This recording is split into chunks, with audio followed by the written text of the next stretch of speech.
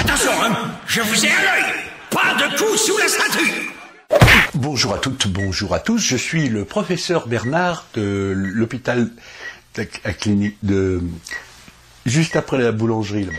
Euh, vous le savez, euh, Canal Plus a coupé la liaison TF1 euh, dans ses bouquets euh, télévision et grand de combat.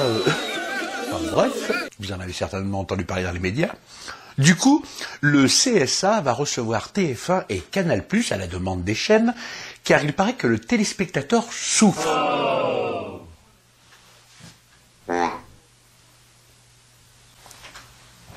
J'ai ausculté pas mal de personnes, euh, moi-même aussi, ma femme, mes enfants, mes amis, ces derniers temps, et tout va bien. Pas de douleur.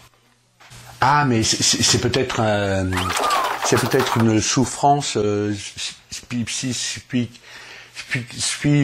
psychologique.